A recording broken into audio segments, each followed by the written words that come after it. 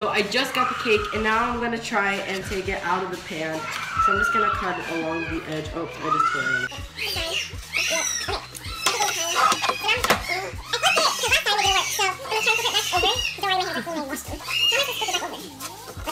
That's Camilla. That's Camilla, y'all. In the background.